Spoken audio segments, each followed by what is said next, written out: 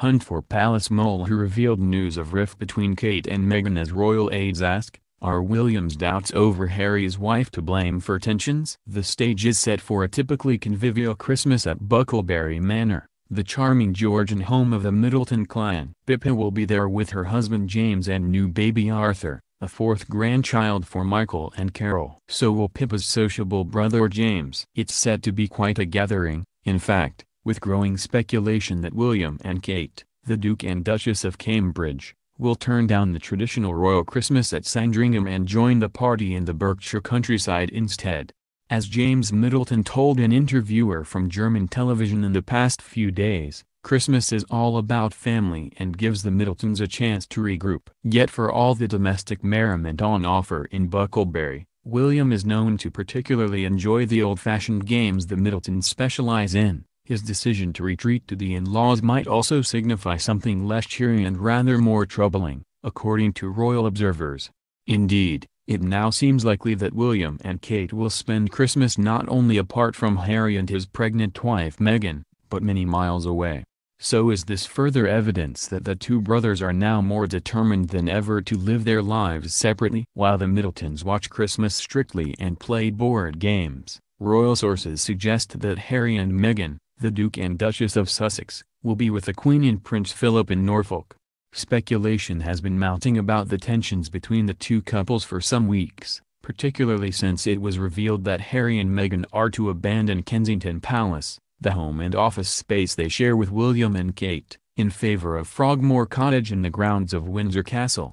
This is a striking move, dramatic even, partly because it is rare for a member of the royal family as important as Harry not to have central London base. But more because the brothers have seemed so close throughout their lives. Until now, that is. With the stream of disclosures threatening to become a torrent, the Mail on Sunday understands courtiers at Kensington Palace have started a mole hunt in an attempt to stop leaks to the media that have led to so many unfavorable reports. They have certainly not made for comfortable reading. Insiders have claimed, for example, that a rather dictatorial Harry has been throwing his weight around, agreed that neither his brother nor courtiers and servants have been rolling out the red carpet for his new American bride. It has been suggested that Meghan has been brusque with servants and that her exacting wedding preparations led Kate to burst into tears following a bridesmaid fitting for daughter Charlotte. It has been a stressful time all round, it is true. Kate has only recently given birth to her third child, Louis, while Meghan finds herself a newcomer in a foreign land, and a member of the most extraordinary family in Britain. Perhaps a few early false steps and antagonisms were to be expected. Meghan, who has worked hard to master her new royal brief, is well liked not just by the public, but by her new father-in-law. Prince Charles. He admires her work ethic and shares an interest in the arts. But the MoS understands that the unease between the Cambridges and the Sussexes is more long-standing and has been deeper than has so far been suggested. As early as last Christmas, well before the May wedding, Meghan was suggesting she didn't feel entirely welcome with all members of the family, and it was in response that Charles attempted to smooth things over by engineering an invitation to Anmer Hall, William and Kate's country home near Sandringham. He hoped it might bring the couples together. It didn't go well. Indeed, one well-placed source says the occasion was marred by a ghastly row between the couples, one reason there will be no repeat this Christmas. A senior royal aide has revealed that the atmosphere at Anmer soured shortly after Harry and his then-fiancée had arrived, and Meghan was judged to have been downright rude.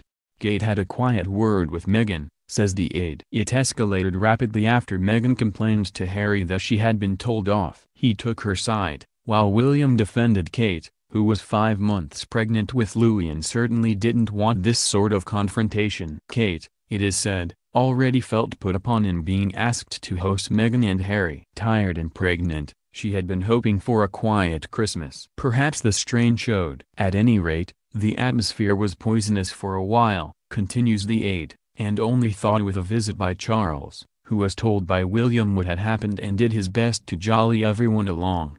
This is by no means an isolated example of Meghan's supposed high-handedness, according to chatter in royal circles. A new book by royal commentator Robert Jobson claims that the Queen had to speak to Harry about Meghan's attitude after a disagreement about which tiara she would wear at the couple's wedding. There were temper tantrums when Meghan was told she would not be able to have the emerald and pearl tiara she had chosen from the royal collection. Aides explained that the Vladimir tiara, smuggled out of Russia after the revolution and sold to Queen Mary, would not be suitable because of uncertainty over its provenance. But Meghan insisted. The book says that both the Queen and Angela Kelly, Her Majesty's dresser, were taken aback at how forcefully the couple pressed the issue. Harry had previously told an one royal employee, what Meghan wants, Meghan gets. A row over wedding jewelry is one thing, Meghan would not be the first anxious bride. But might there be a still sharper anxiety that explains why the Duke and Duchess of Sussex now seem permanently on edge? This newspaper has learned from one of William's closest friends that the prince had doubts about how suitable Meghan might be as his brother's bride, and that he voiced them.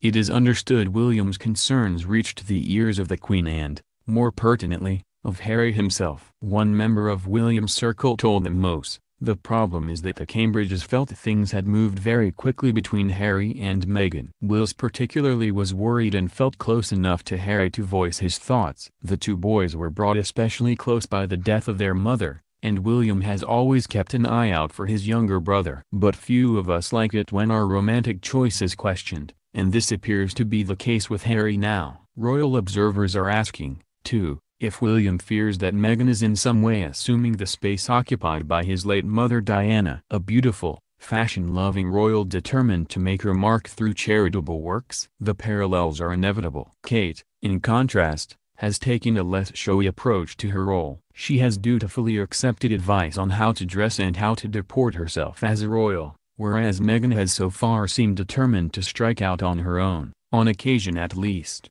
It is understood that Kate has had a number of meetings over tea in which she has attempted to explain the rules of the firm to Meghan, and that her advice didn't go down well. Kate is said to have told friends she was very sad about what was happening and felt that Harry was changing. She and Harry have always had a very close relationship, but she said things were different, says one. But if William's wife has become adept at fading into the background, that does not make her soft. On the contrary. Meghan's a strong character and so is Kate, so it doesn't surprise me there have been clashes, said the source. Indeed, some are calling her a steel marshmallow, a phrase first applied to William and Harry's great-grandmother, the late Queen Mother. With the days that William, Kate and Harry went around together as a dynamic team now decisively over, they are leading lives that are not only increasingly separate, but very different.